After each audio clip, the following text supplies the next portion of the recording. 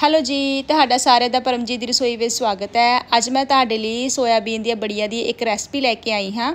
ਜਿਹੜੀ ਇਹ ਰੈਸਪੀ ਹੈਗੀ, ਬੱਚੇ ਇਹਨੂੰ ਬਹੁਤ ਖੁਸ਼ ਹੋ ਕੇ ਖਾਂਦੇ ਨੇ, ਬਹੁਤ ਸਵਾਦ ਬਣਦੀ ਹੈ। ਤੁਸੀਂ ਇਹਨੂੰ ਐਜ਼ ਅ ਸਬਜ਼ੀ ਵੀ ਖਾ ਸਕਦੇ ਹੋ ਐਜ਼ ਅ ਸਨੈਕ ਵੀ ਖਾ ਸਕਦੇ ਹੋ ਤੇ ਆਓ ਇਹਨੂੰ ਬਣਾਉਣਾ ਸ਼ੁਰੂ ਕਰੀਏ। ਸਭ ਤੋਂ ਪਹਿਲਾਂ ਆਪਾਂ ਸੋਇਆਬੀਨ ਦੀਆਂ ਬੜੀਆਂ ਲੈ ਲਵਾਂਗੇ। ਇੱਥੇ ਆਪਾਂ ਛੋਟੀ ਵਾਲੀ ਬੜੀ ਲਵਾਂਗੇ, ਵੱਡੀ ਨਹੀਂ ਲਵਾਂਗੇ। ਬੜੀਆਂ ਲੈਣ ਤੋਂ ਬਾਅਦ ਅਸੀਂ ਗੈਸ ਦੇ ਉੱਤੇ ਕੜਾਈ ਰੱਖਾਂਗੇ। ਕੜਾਈ ਦੇ ਵਿੱਚ ਅਸੀਂ ਪਾ ਦੇਵਾਂਗੇ ਪਾਣੀ ਤੇ ਗੈਸ ਨੂੰ ਕਰ ਦੇਵਾਂਗੇ ਔਨ ਪਾਣੀ ਅਸੀਂ ਗਰਮ ਹੋਣ ਲਈ ਰੱਖ ਦਿੱਤਾ। ਹੈ। ਤੇ ਇਹਦੇ ਵਿੱਚ ਅਸੀਂ ਨਾਲ ਹੀ ਪਾ ਦੇਵਾਂਗੇ ਪੌਣਾ ਕ ਚਮਚ ਨਮਕ ਦਾ ਨਮਕ ਜਿਹੜਾ ਮੈਂ ਪਾਇਆ, ਇਹ ਹਲਦੀ ਵਾਲੇ ਚਮਚ ਨਾਲ ਹੀ ਪਾ ਦਿੱਤਾ ਹੈ। ਇਸ ਕਰਕੇ ਥੋੜਾ ਹਲਦੀ ਦਾ ਹਲਕਾ ਹਲਕਾ ਕਲਰ ਆ ਰਿਹਾ ਹੈ।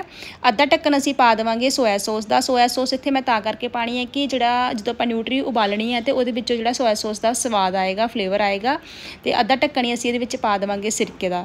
ਨਮਕ ਪਾਣਾ ਸਿਰਕਾ ਪਾਣਾ ਤੇ ਸੋਇਆ ਸੌਸ, ਤਿੰਨ ਚੀਜ਼ਾਂ ਅਸੀਂ ਪਾਣੀਆਂ ਹੈ ਜਦੋਂ ਅਸੀਂ ਨਿਊਟਰੀ ਨੂੰ ਉਬਾਲਣਾ ਹੈ। ਹੁਣ ਇਹਦੇ ਵਿੱਚ ਆਪਾਂ ਨਿਊਟਰੀ ਪਾ ਦਿੰਦੇ ਹਾਂ। ਨਿਊਟਰੀ ਅਸੀਂ ਪਾ ਦਿੱਤੀ ਹੈ ਤੇ ਇਹਨੂੰ ਅਸੀਂ ਉਬਾਲਾ ਆਉਣ ਤੱਕ ਉਬਾਲਾਂਗੇ। ਤੇ ਗੈਸ ਨੂੰ ਹੁਣ ਅਸੀਂ ਬੰਦ ਕਰ ਦਿੰਦੇ ਹਾਂ। ਨਿਊਟਰੀ ਸਾਡੀ ਉਬਲ ਚੁੱਕੀ ਹੈ।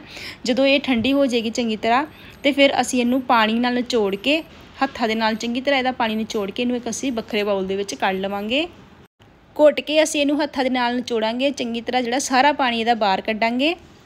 ਹੁਣ ਆਪਾਂ ਇਹਦੇ ਵਿੱਚ ਪਾਵਾਂਗੇ 2 ਚਮਚ ਕੌਰਨਫਲੋਰ ਦੇ। ਤੁਸੀਂ ਕੌਰਨਫਲੋਰ ਵੀ ਪਾ ਸਕਦੇ ਹੋ ਤੇ ਅਰਾਰੋਟ ਵੀ ਪਾ ਸਕਦੇ ਹੋ।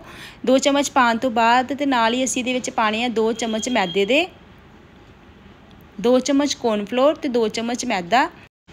ਅੱਧਾ ਕੁ ਚਮਚ ਅਸੀਂ ਨਮਕ ਇਹਦੇ ਵਿੱਚ ਹੋਰ ਪਾ ਦਿੰਦੇ ਹਾਂ ਤੇ ਨਾਲ ਅਸੀਂ ਪਾ ਦੇਵਾਂਗੇ ਇੱਕ ਚਮਚ ਜਿਹੜਾ ਛੋਟਾ ਲਾਲ ਮਿਰਚ ਦਾ ਪਾਊਡਰ ਹੁਣ ਆਪਾਂ ਇਹਨੂੰ ਚੰਗੀ ਤਰ੍ਹਾਂ ਮਿਕਸ ਕਰ ਲੈਂਦੇ ਹਾਂ। ਲਾਲ ਮਿਰਚ ਤਾਂ ਪਾਣੀ ਹੈ ਕਿ ਹਲਕਾ ਜਿਹਾ ਜਿਹੜਾ ਕਲਰ ਆ ਜਾਵੇ, ਇਹਨੂੰ ਆਪਾਂ ਚੰਗੀ ਤਰ੍ਹਾਂ ਮਿਕਸ ਕਰ ਲੈਣਾ ਜਿਹੜਾ ਆਪਾਂ ਮੈਦਾ ਤੇ ਕੌਰਨਫਲੋਰ ਪਾਇਆ ਹੈ, ਇਹਦੇ ਨਾਲ ਜਿਹੜਾ ਕੋਟ ਹੋ ਜਾਵੇ ਚੰਗੀ ਤਰ੍ਹਾਂ। ਹੁਣ ਅਸੀਂ ਇਹਨੂੰ ਕਰਾਂਗੇ ਫਰਾਈ ਗੈਸ ਦੇ ਉੱਤੇ ਆਪਾਂ ਤੇਲ ਰੱਖਿਆ ਹੈ। ਪਹਿਲਾਂ ਤੋਂ ਹੀ ਗਰਮ ਤੇਲ ਗਰਮ ਹੋ ਚੁੱਕਾ ਹੈ। ਤੇ ਤੇ ਜਿਹੜਾ ਜਦੋਂ ਅਸੀਂ ਇਹਨੂੰ ਫਰਾਈ ਕਰਨਾ ਹੈ, ਜਿਹੜਾ ਤੇਲ ਹੈ, ਇੱਕਦਮ ਤੇਜ਼ ਗਰਮ ਹੋਵੇ ਗੈਸ ਫੁੱਲ ਤੇ ਹੋਵੇ, ਜੇ ਆਪਾਂ ਇਹਨੂੰ ਸਲੋ ਤੇ ਫਰਾਈ ਕਰਾਂਗੇ ਤੇ ਜਿਹੜਾ ਤੇਲ ਹੈਗਾ, ਇਹ ਬੜੀਆ ਦੇ ਵਿੱਚ ਵੜ ਜਾਏਗਾ। ਤੇ ਫਿਰ ਜਿਹੜੀਆਂ ਬੜੀਆ ਉਹ ਸਵਾਦ ਨਹੀਂ ਲੱਗਣਗੀਆਂ। ਇਸ ਕਰਕੇ ਆਪਾਂ ਜਿਹੜੀ ਗੈਸ ਹੈ, ਬਿਲਕੁਲ ਤੇਜ਼ ਰੱਖਣੀ ਹੈ। ਫੁੱਲ ਤੇ ਰੱਖਣਾ ਗੈਸ ਫੁੱਲ ਦੇ ਉੱਤੇ ਜਿਹੜਾ ਤੇਲ ਆ ਉਹ ਵਿੱਚ ਨਹੀਂ ਬੜੇਗਾ ਹਲਕਾ ਜਿਹਾ ਸੇਕ ਲੱਗਣ ਤੋਂ ਬਾਅਦ ਫਿਰ ਅਸੀਂ ਇਹਦੀ ਸਾਈਡ ਚੇਂਜ ਕਰਾਂਗੇ।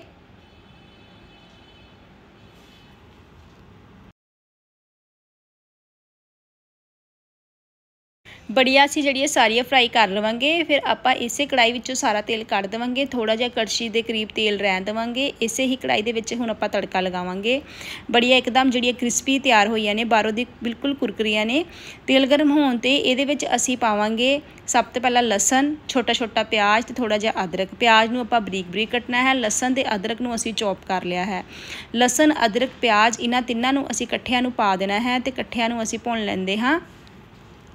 ਹੁਣ ਅਸੀਂ ਇੱਧਰ ਇੱਕ ਵੱਡੇ ਸਾਈਜ਼ ਦਾ ਪਿਆਜ਼ ਲਿਆ ਹੈ। ਸ਼ਿਮਲਾ ਮਿਰਚ ਲਈ ਹੈ, ਪੀਲੀ, ਹਰੀ ਤੇ ਲਾਲ। ਜੇ ਤੁਹਾਡੇ ਕੋਲ ਕੱਲੀ ਹਰੀ ਹੋਵੇ, ਤੁਸੀਂ ਹਰੀ ਵੀ ਲੈ ਸਕਦੇ ਹੋ। ਪਿਆਜ਼ ਅਸੀਂ ਇਦਾਂ ਦੇ ਕੱਟਨੇ ਹੈ। ਇੱਕ ਪਿਆਜ਼ ਨੂੰ ਅਸੀਂ ਇਦਾਂ ਖੋਲ ਲਿਆ ਹੈ ਕੱਲੀ ਕੱਲੀ ਕੱਲੀ ਕਲੀ ਤੇ ਸ਼ਿਮਲਾ ਮਿਰਚ ਜਿੱਦਾਂ ਦੀ ਤੁਹਾਨੂੰ ਪਸੰਦ ਹੈ, ਤੁਸੀਂ ਆਪਣੇ ਹਿਸਾਬ ਨਾਲ ਛੋਟੀ, ਵੱਡੀ, ਪਤਲੀ ਜਿੱਦਾਂ ਦੀ ਕੱਟ ਸਕਦੇ ਹੋ। ਤੇ ਇੱਧਰ ਜਿਹੜਾ ਸਾਡਾ ਲਸਣ, ਪਿਆਜ਼ ਹੈਗਾ, ਅਦਰਕ, ਇਹ ਵੀ ਭੁੱਜ ਹੋ ਗਿਆ ਹੈ। ਤੇ ਹੁਣ ਜਿਹੜਾ ਅਸੀਂ ਸਮਾਨ ਕੱਟ ਕੇ ਰੱਖਿਆ ਹੋਇਆ ਹੈ, ਇਹਨੂੰ ਅਸੀਂ ਇਹਦੇ ਵਿੱਚ ਪਾ ਦਿੰਦੇ ਹਾਂ। ਇਹ ਜਿਹੜਾ ਪਾਣਾ ਹੈ ਸ਼ਿਮਲਾ ਮਿਰਚ ਪਿਆਜ਼, ਇਹਨਾਂ ਨੂੰ ਅਸੀਂ ਪੂਰੀ ਤਰ੍ਹਾਂ ਨਹੀਂ ਪਕਾਣਾ ਹੈ। ਇਹਨਾਂ ਨੂੰ ਅਸੀਂ ਹਲਕਾ ਜਿਹਾ ਕੱਚਾ ਰੱਖਣਾ ਹੈ।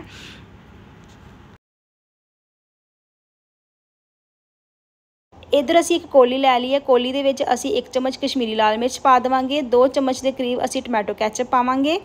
ਇੱਕ ਵੱਡਾ ਚਮਚ ਅਸੀਂ ਦੇ ਵਿੱਚ ਸੋਇਆ ਸੌਸ ਦਾ ਪਾ ਦੇਵਾਂਗੇ ਤੇ ਅੱਧਾ ਕ ਚਮਚ ਅਸੀਂ ਦੇ ਵਿੱਚ ਪਾਵਾਂਗੇ ਸਿਰਕੇ ਦਾ। ਇਹਨਾਂ ਚਾਰਾਂ ਨੂੰ ਆਪਾਂ ਚੰਗੀ ਤਰ੍ਹਾਂ ਮਿਕਸ ਕਰ ਲਵਾਂਗੇ।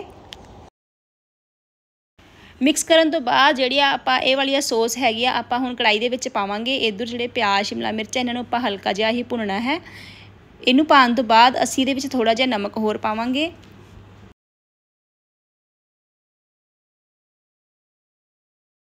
ਬਿਲਕੁਲ ਆਪਾਂ ਹਲਕਾ ਜਿਹਾ ਨਮਕ ਪਾਵਾਂਗੇ, ਜ਼ਿਆਦਾ ਨਹੀਂ ਪਾਵਾਂਗੇ। ਜਿਹੜੀ ਕੋਲੀ ਦੇ ਵਿੱਚ ਆਪਾਂ ਸੌਸ ਘੋਲੀ ਸੀ, ਉਹਦੇ ਵਿੱਚ ਆਪਾਂ ਉਹਨੂੰ ਮਤਲਬ ਧੋ ਕੇ ਨਾ ਥੋੜਾ ਜਿਹਾ ਉਹਦੇ ਵਿੱਚ ਪਾਣੀ ਪਾ ਦੇਵਾਂਗੇ ਥੋੜਾ ਪਾਣੀ ਆਪਾਂ ਹੋਰ ਪਾਵਾਂਗੇ। ਮੀਨਸ ਕਿ ਆਪਾਂ ਡੇਢ ਕੋਲੀ ਦੇ ਕਰੀਬ ਪਾਣੀ ਪਾ ਦੇਵਾਂਗੇ। ਤੇ ਇਧਰ ਅਸੀਂ ਇੱਕ ਚਮਚ ਕੌਰਨਫਲੋਰ ਦਾ ਲਵਾਂਗੇ, ਇਹਦੇ ਵਿੱਚ ਥੋੜਾ ਜਿਹਾ ਪਾਣੀ ਘੋਲ ਲਵਾਂਗੇ। ਤੇ ਹੁਣ ਅਸੀਂ ਇਹ ਵਾਲਾ ਪਾਣੀ ਕੜਾਈ ਦੇ ਵਿੱਚ ਪਾ ਦੇਵਾਂਗੇ, ਤਾਂ ਜੋ ਜਿਹੜੀ ਸਾਡੀ ਆ ਸੌਸ ਜਿਹੜੀ ਹੈਗੀ, ਸਾਡੀ ਥੋੜੀ ਗ੍ਰੇਵੀ ਜੀ ਹੈਗੀ ਥੋੜੀ ਸੰਘਣੀ ਹੋ ਜਾਵੇ।